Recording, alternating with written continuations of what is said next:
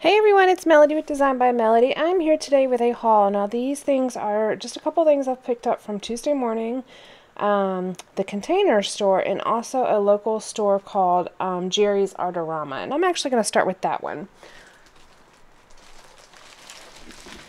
So I have, we have this place here in Raleigh, and it was actually, it's, um, I guess, founded in Raleigh. Their warehouse and everything is here.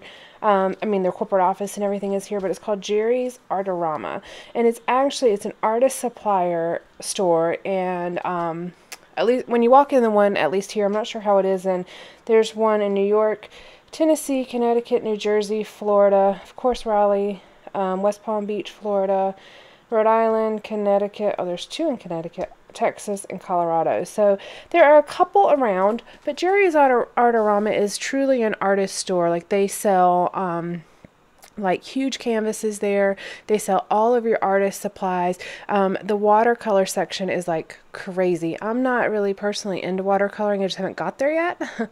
um, but I see all the wonderful watercolor palettes there that I see everyone scrapbook with, plus probably like um, ones that are a million times better, you know, artist grade ones. So if you're in any of these cities and or visit any of these cities and haven't checked out Jerry's Artarama have never heard of it, I suggest you go in there because I just found some really cool things. Their selection of Copic markers and chalk and things like that is like insane.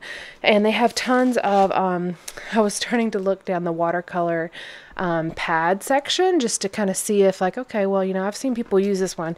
It's insane. There's probably over a hundred different options and all different sizes by all different brands. Like it's crazy. So I was like okay this is a little too much for me. I'm gonna walk away from this section. So I only picked up two things. We were actually there because artists needed some paintbrushes and they have like a million paintbrush options. But um I just picked up two things for myself. I just thought it'd be nice to share this with you. And on my Facebook page, uh, my um, like fan page, I'm going to create a document. I have to make sure I can do that on that. Not my group, but on the actual like fan page or whatever. Um, or company page. I am going to um, create a document of, of um, craft supply stores that I have visited um, you know, in my travels, I travel some. I don't travel a ton, but I do travel some. And I'm not going to include the like chain scrapbook stores or like Tuesday morning or anything like that, but I am going to include things like this where it's not necessarily your chain. It may be a local scrapbooking store, something like that. So I'm going to include that, this one there. Um, but as I travel around, that's just going to be kind of like a working document for me. I've kind of tried to make it a point that as I travel to try to find a local scrapbooking store because we don't really have one here in Raleigh. We have like your major chain ones, but we don't have any local ones anymore, not since Archivers closed. So anyways, what I bought, I brought the um, Faber-Castell dust-free eraser. I just wanted a really nice white eraser, eraser to be able to use um, in scrapbooking. Um, so I bought one of those. I think it was like 80 cents or something. And then I bought a T-square ruler. It's just a 12-inch T-square ruler. I've been wanting one, and I just had never purchased one. So I went ahead and bought one of those. So those are the two things that I bought from Jerry's Artarama. Nothing like fancy, but I just enjoy walking in there. And I have bought a ton of my um, pins from there. They have so many beautiful pins, and they have um, Staedtler pins, like the um, the sets, not the ones that you get at like Target or Michaels, but they have like the the artist collection of those pins. So the multi-liners, fine liners, and all of that. Um, so not just not just the Tri Plus fine liner, but they may have a set of five or six different black ones or something like that. So they have they just have a lot of stuff like that. All right, so I've got my two things here. Then I went to the container store and I picked up a couple things. Now, have talked about this before. I can't remember which video I talked about it, but I think about two weeks ago or so, I had talked about when I had purchased these papers at Joann's. I had talked about the fact that I wanted to be starting a baby album for Kalen because I was not scrapbooking at the time that he was born. I, I had not yet gotten into the craft. So I have purchased um, just a variety of different scrapbook papers that are kind of like baby boy themed, and I'm going to start collecting things in my stash that are baby themed. Like I have a Project Life card set and start kind of compiling it together in this bag just labeled baby album. And so what I did is I went ahead and purchased an album. Now I plan to do this one in an 8.5 by 11. Um, and I just purchased this binder because I thought it was kind of pretty. And I like the fact that it's really sturdy. And on my shelf it won't be bulging out like that. But I like the fact that like the edges are very sturdy. And this is from the Container Store. I looked at a bunch of different ones. I like, I kind of wanted something decorative. Um, and I looked at a bunch of different ones at like Michael's and at like Target and a bunch of other places. But this is the one, it's got like a textured surface, so it almost feels like canvas. Um, and it's just really well put together, I feel, anyways. I played with a lot of them and like messed with the binder system and all of that, and I just really like the way this one was. Plus, I like the gray and the white for some reason. It just kind of called to me. So, when I was there, I also went ahead and got some sheet protectors, and I got this pack of 10. Um, and they were clear. They were a really nice clear sheet protector, and there wasn't any branding on the, um, um, what do you call this, reinforcer part. So I'm kind of playing around with the idea of covering this with washi tape on all of them and just using the same washi tape throughout the album. I haven't decided that. But I went ahead and bought 20 sheet protectors. So this is enough for 40 pages. I really don't think I'm going to do quite that many, but I wanted to give myself that option. So I grabbed these when I was there. So I'm, I'm starting my pile. This may be not, this album may not be started for another six months, but I'm starting. All right. And then, oh, I forgot. Also at um, the container store, I got this because I just can't resist a cool aqua ruler. I mean, let's just be real here.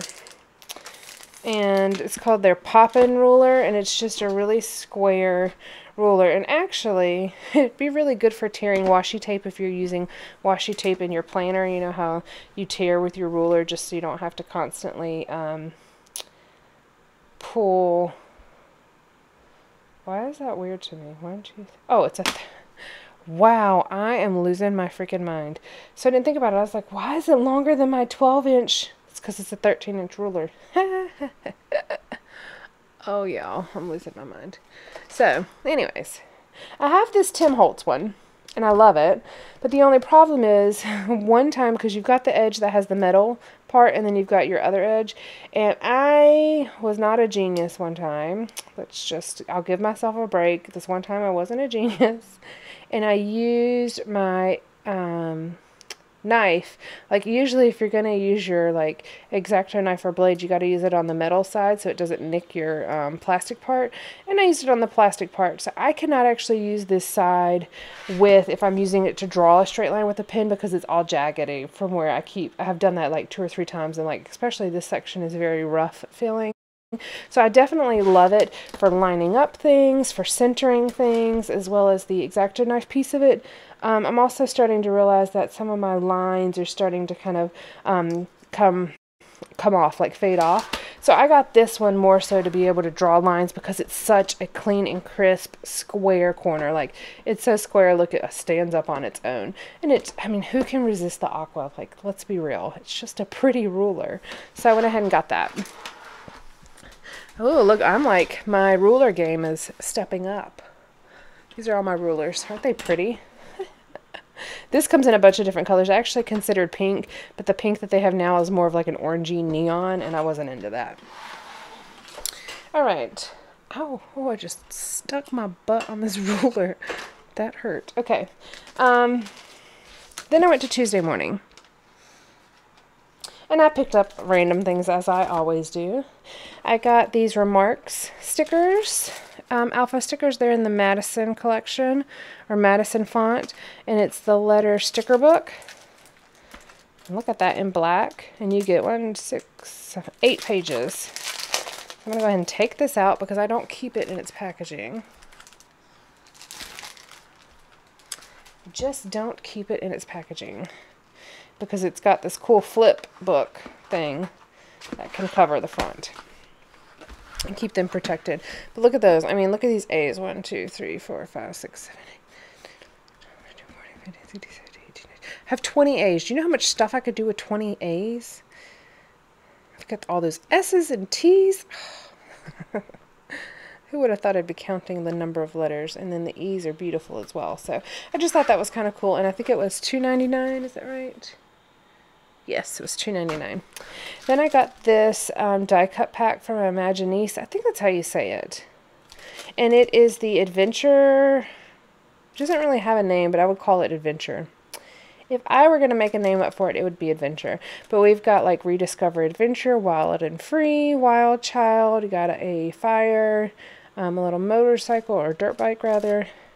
Um, gone camping, a fishing rod, um, like a four wheeler, an axe, a canteen, take a hike, s'mores, mountains, um, play in the dirt. A lot of just little random camping things. And I have started a camping envelope, just like, or a um, zip bag, just like I had the baby album. So I have one for, I have all my seasons, like my holidays.